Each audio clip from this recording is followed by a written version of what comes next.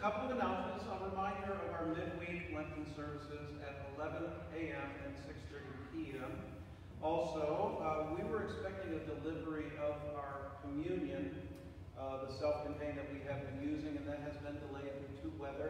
So we are going to be using the, the regular host that you would have been used to. And what we'll do at that time is, as you come through the center aisle, we ask that you give yourself a little hand sanitizer, and then I will give you the host, and the elder give you the, uh, the wine. Uh, Pretty straightforward, but uh, we're expecting that delivery, and uh, like I said, it was delayed, should be coming tomorrow.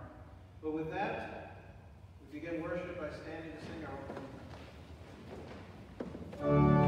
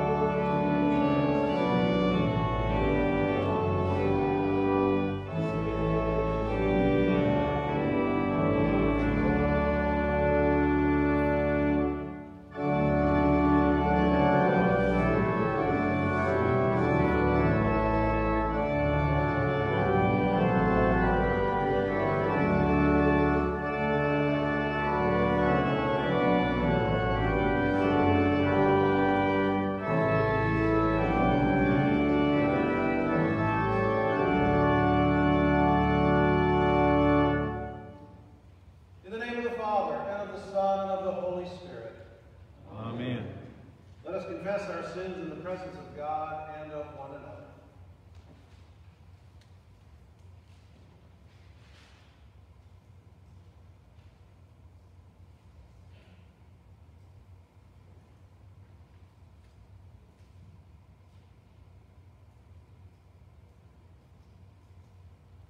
Lord God, Heavenly Father, I I confess confess to you before the whole company of heaven and to my brothers and sisters in Christ that I have sinned in thought, word, and deed, by what I have done and by what I have left undone. I am sorry for my sins and sincerely repent of them. In your great love and mercy, forgive me, wash me, renew me, and strengthen me. Almighty God, in his mercy, has given his Son to die for you and for his sake, forgives you all your sins. As a called and ordained servant of Christ and by his authority, I announce to you the forgiveness of all your sins in the name of the Father, and of the Son, and of the Holy Spirit. Amen. The Lord be with you. And also with you. Let us pray. O Lord God, you led your ancient people through the wilderness and brought them to the promised land. Guide the people of your church, that following our Savior, we may walk through the wilderness of toward the glory of the world to come. Through Jesus Christ, your Son, our Lord, who lives and reigns with you in the Holy Spirit, one God now and forever. Amen.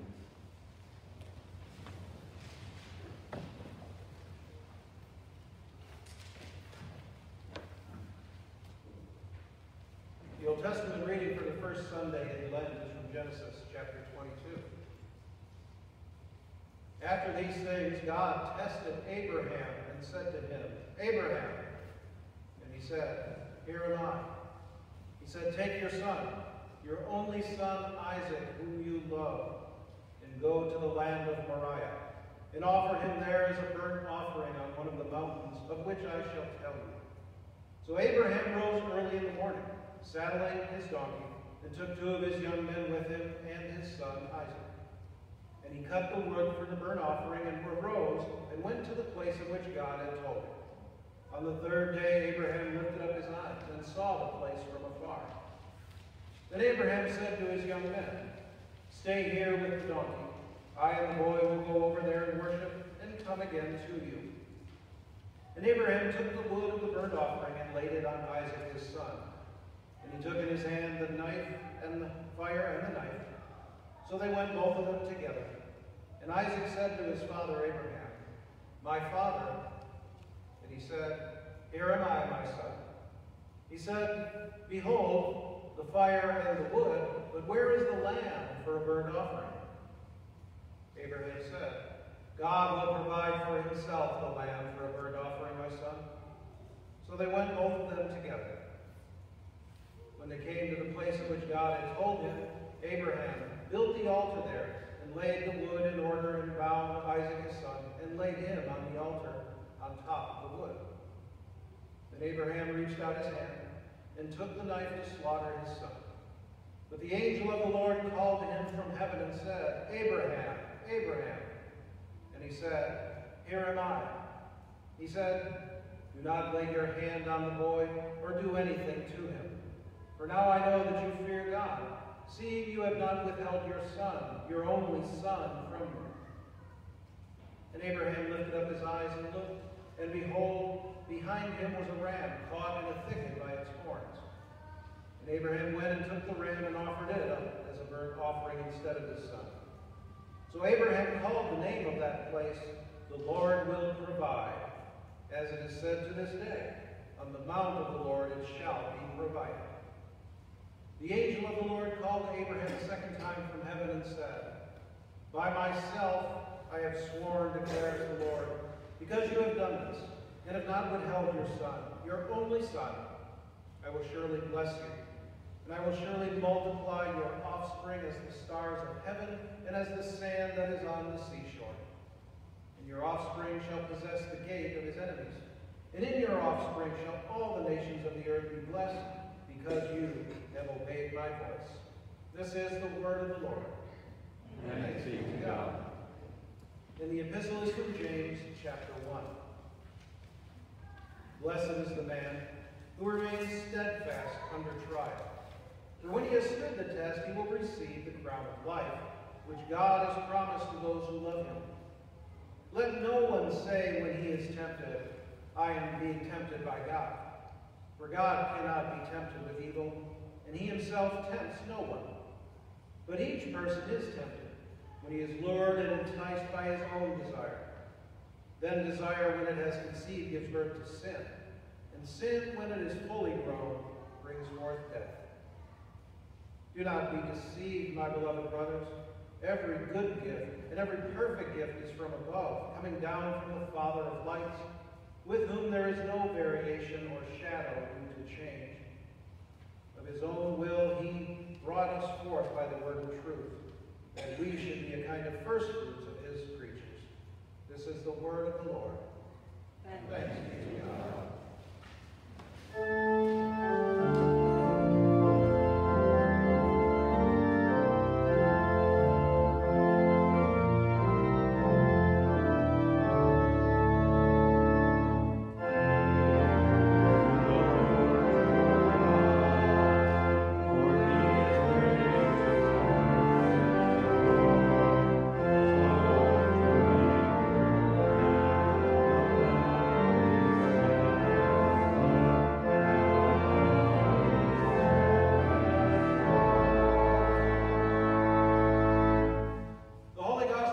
To. Mark, the first chapter.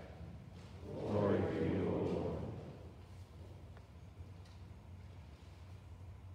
In those days, Jesus came from Nazareth of Galilee and was baptized by John in the Jordan. And when he came up out of the water, immediately he saw the heavens opening and the Spirit descending on him like a dove. And a voice came from heaven, You are my beloved Son, with you I am well pleased. The Spirit immediately drove him out into the wilderness, and he was in the wilderness forty days being tempted by Satan. And he was with the wild animals, and the angels were ministering to him. Now after John was arrested, Jesus came into Galilee proclaiming the gospel of God and saying, The time is fulfilled, and the kingdom of God is at hand. Repent and believe in the gospel. This is the gospel of the Lord. Praise to you, O Christ.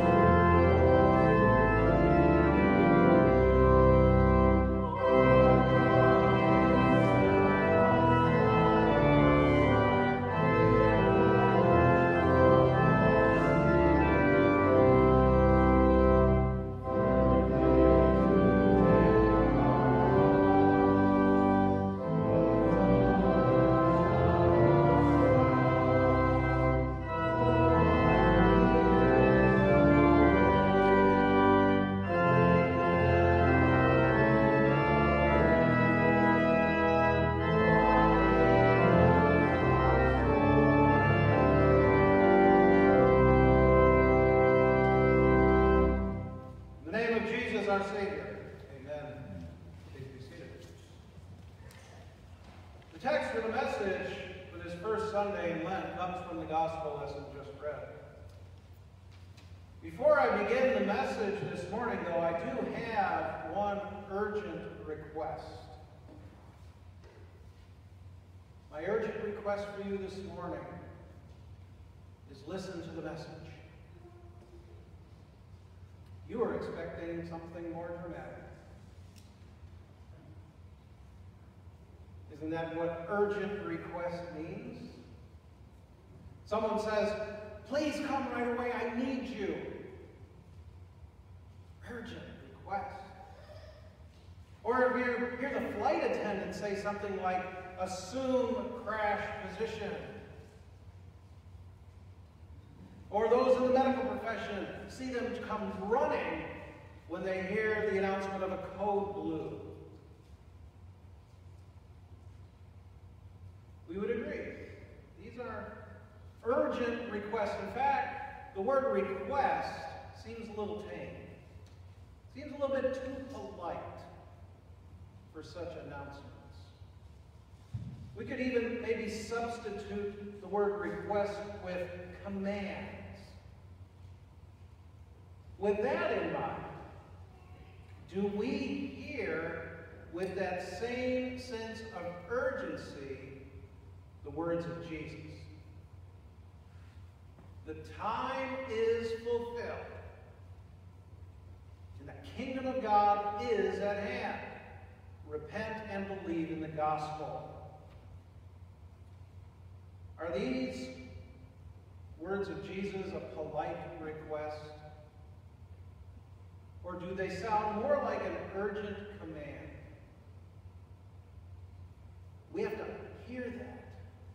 We must understand these words as Jesus intended them.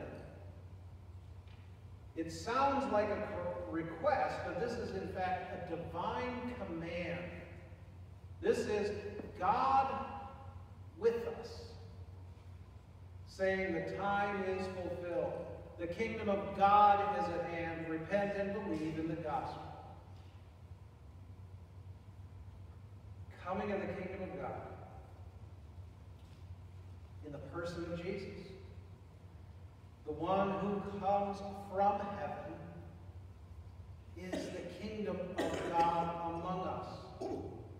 And with that seriousness, it calls for us to receive it with a sense of clear clarity, with a, a sober mindedness and a focus on that only thing that has any lasting bearing on our lives, on our eternal lives. We have placed before our eyes and spoken into our ears the realization, the truth, that the kingdom of God has come.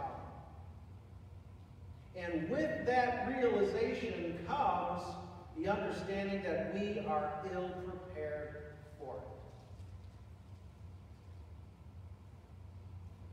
We get these urgent requests frequently. And a lot of them don't apply to us and we, we kind of disregard them.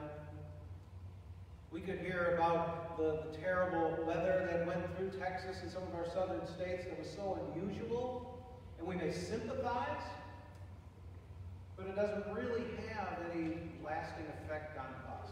Or we'll hear about some tornado warning in southern Arkansas, and we can sympathize, it might get our attention, but we don't take cover.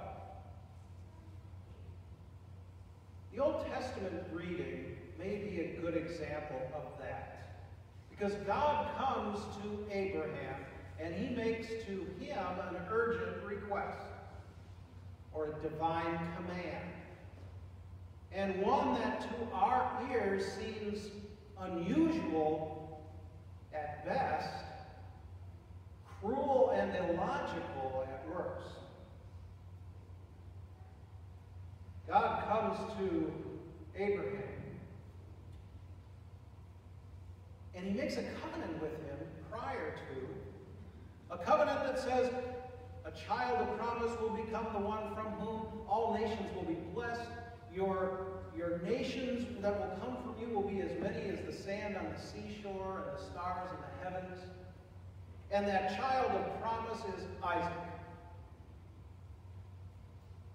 God makes this request of Abraham. Now take that son, that promised one, take him to the place where I will tell you and kill him. Sacrifice him. Slaughter him on an altar that you will build. Imagine what is going through Abraham. The turmoil, the questions, the fear. Imagine the temptation to disobey God in that moment. The temptation was for Abraham to, what? Trust his own feelings, his own judgments, his own emotions. Because those are some of the most powerful emotions that humans can experience. The love and the care and the preservation and the protection of a child. Abraham resisted any temptation and he trusted in God. And we know that God intervened. He made that urgent request, that divine command, don't lay your hand on your son. And God provided a substitute. In that moment, he provided a substitute in place of Isaac. The ram for the sacrifice, caught in the thicket, becomes for us that foreshadowing of how God would provide. Not simply a ram in a thicket, but his son on a cross. Be the substitute, to be that perfect sacrifice who would die for the sins of the world.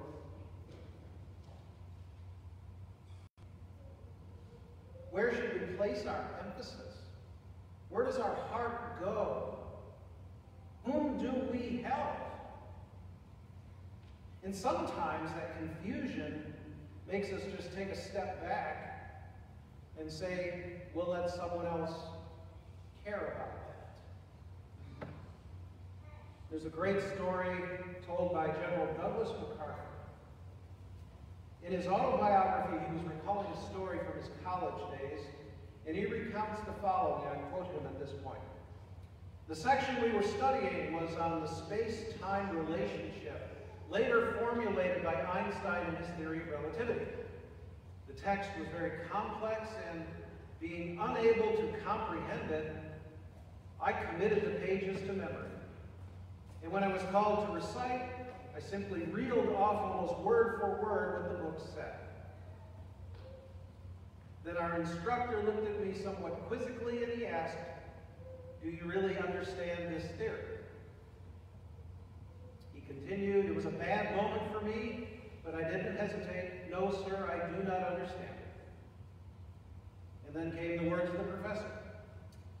Neither do I understand it, Mr. MacArthur. Class dismissed.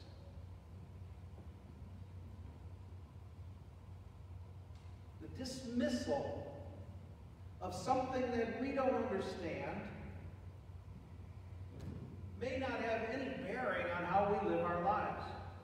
There are things that we don't understand, and that's okay. I'm positive that I can live a contented life without understanding theory of relativity. I also trust that this theory will function quite well, whether I get it or not.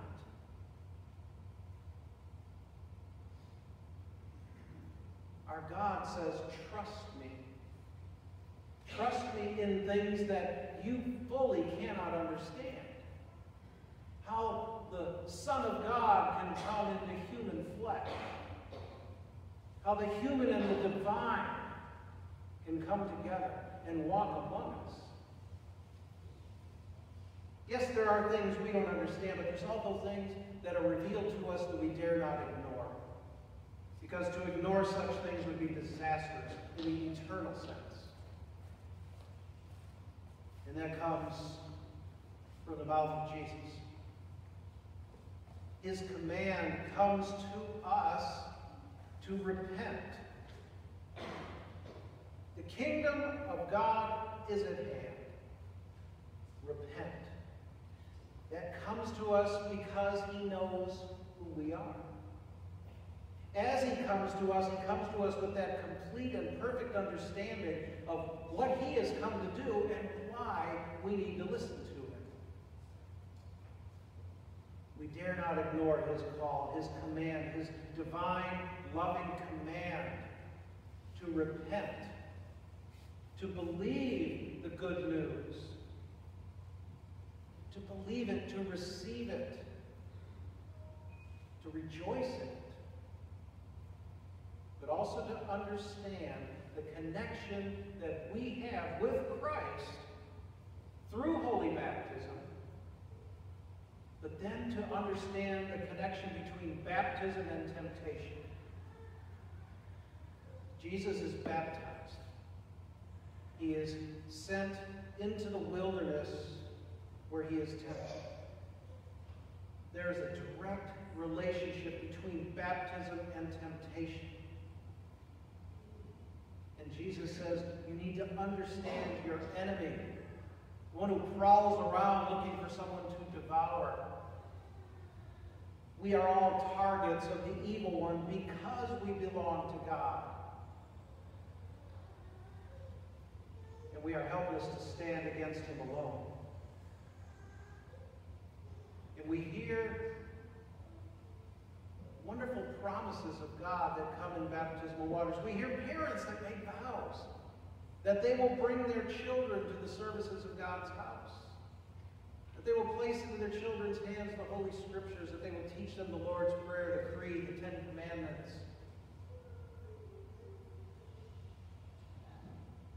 Jesus said the time is fulfilled. The kingdom of God is at hand. Repent and believe the gospel. Do we understand that? That the kingdom of God is with us in this place by God's promise.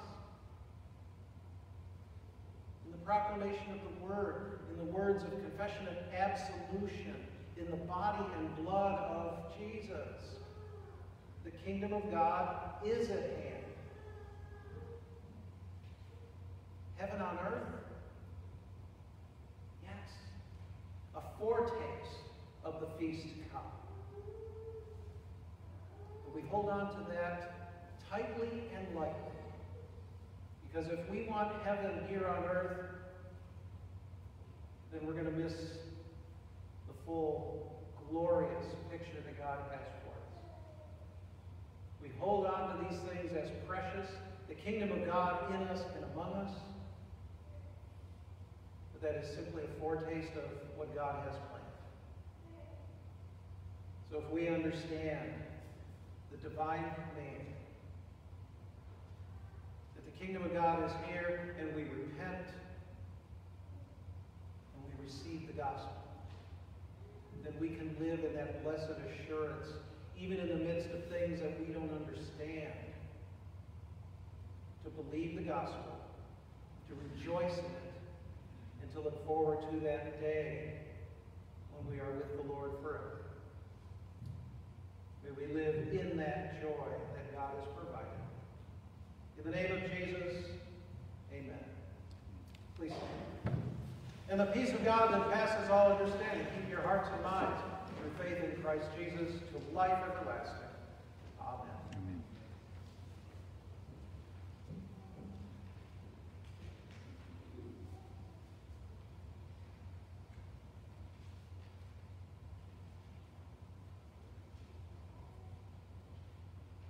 Together we confess. I believe in one God, the Father Almighty, maker of heaven and earth, and of all things visible and invisible, and in one Lord Jesus Christ, the only begotten Son of God, begotten of his Father before all worlds, God of God, light of light, very God, very God, begotten, not being of one substance with the Father, by whom all things were made, who for us men and for our salvation came down from heaven, and was incarnate by the Holy Spirit of the Virgin Mary, and was made man, and was crucified also for us under Pontius Pilate. He suffered and was buried. And the third day he rose again, according to and ascended into heaven, and sits at the right hand of the Father. And he will come again with glory to judge both the living and the dead, whose kingdom will have no end. For I believe in the Holy Spirit, the Lord and giver of life, who proceeds from the Father and the Son, who with the Father and the Son together is worshipped and glorified, who spoke by the and I believe in one holy Christian apostolic church.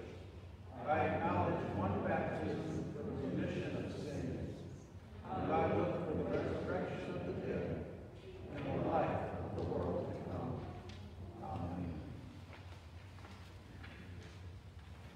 Heavenly Father, as we enter this Lenten season of repentance and renewed devotion, we pray that you would remember us according to your steadfast love and goodness in Christ, and instruct and lead us by your Spirit in ways so that we may repent and believe the gospel. Lord, in your mercy, hear our prayer. Lord God, you place the wood of the cross on the back of your only begotten Son. Bless, we pray, his church, and all those who are called to preach and teach, that the gates of hell cannot prevail against the church, that in faith they may boldly trample every power of the enemy underfoot. Lord, in your mercy, hear our prayer. Almighty God, preserve all catechumens and their teachers, all children and their parents, and every Christian home, protecting it from the assaults of the evil one. As your Son overcame Satan in the desert by the word of God, so also give us the victory through Christ and his word. Lord, in your mercy, hear our prayer. Father of lights, from whom every good and perfect gift comes down to us from above, keep us from being enticed by our own desire to misuse your gifts in sin, and help us to use them rightly in service to you and to our neighbor. Bless all our leaders, that we would be governed wisely and justly for the good of this present generation and for the good of those to come. Lord, in your mercy, hear our prayers. God, our refuge and strength, you have promised to hear when we call. And we pray that you would grant healing, comfort, and peace to all those who suffer in our midst. Keep them from every evil that can befall the body, mind, and soul. Lord, in your mercy, hear our prayer. And Lord God, the time is fulfilled, and your kingdom is at hand, as your beloved Son comes to us here this day. By your Spirit, grant that we would receive him in repentance and believe the gospel proclaimed to us and given to us in his body and his blood. Lord, in your mercy, Hear our prayer. and Lord God, we remember with thanksgiving those before us whom you brought forth by the word of truth, who now live and reign in your presence with your Son. As you have also brought us forth by that word in holy baptism, we pray you would bring us to full maturity by your word, that we too would be gathered with them to your Son on the glorious harvest of the last day. Lord, in your mercy, hear our prayer. All these things and whatever else you know that we need, grant us, Father, for the sake of him who died and rose again and now lives and reigns with you in the Holy Spirit, one God, now and forever. Amen. Amen.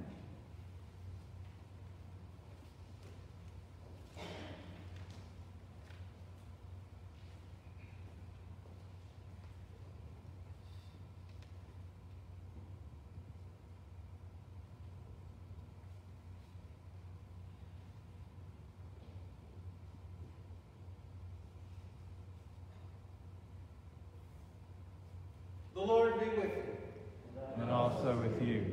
Lift up your hearts. We lift them to the Lord. Let us give thanks to the Lord our God. It is right. Thanks and praise. Isaiah, Isaiah wrote, I saw the Lord sitting upon a throne, high and lifted up, and the train of his robe filled the temple. Above him were the seraphim, and one called to another and said, Holy, Holy, holy, Lord, holy is Lord of hosts. The whole earth is full of his glory. When Jesus entered Jerusalem, those who went before and those who followed were shouting, Hosanna, blessed is he who comes in the name of the Lord. Hosanna in the highest. Blessed are you, O Lord our God, King of all creation, for you have had mercy on us and given your only begotten Son, that whoever believes in him should not perish but have eternal life. In your great wisdom, you tested Abraham and provided a ram as a substitute sacrifice. In your great mercy, you allowed your Son to be tempted in every way that we are. And as he did not sin, you provided him as the substitute sacrifice for our sins, including the temptations we so easily fall prey to. We thank you for the forgiveness you freely offer us through Jesus Christ. Grant us your Holy Spirit, that we may faithfully eat and drink of the fruits of his cross, and receive the blessings of forgiveness, life, and salvation that come to us in his body and blood. To you alone, O Father, be all glory, honor, and worship, with the Son and Holy Spirit, one God, now and forever. Amen. Our Lord Jesus Christ, on the same night in which he was betrayed, took bread. And when he had given thanks, he broke it, and gave it to his disciples, saying, Take and eat. This is my body which is given for you. This do in remembrance of me. And in the same way also he took the cup after supper. And when he had given thanks, he gave it to them, saying, Drink of it, all of you. This cup is the New Testament in my blood, shed for you for the forgiveness of sins. This do as often as you drink it in remembrance of me. Lord, remember us in your kingdom and teach us to pray. Our Father, who art in heaven, hallowed be thy name. Thy kingdom come, thy will be done, on earth as it is in heaven. Give us this day our daily bread, and forgive us our trespasses, as we forgive those who trespass against us. And lead us not into temptation, but deliver us from evil. For thine is the kingdom, and the power, and the glory, forever and ever.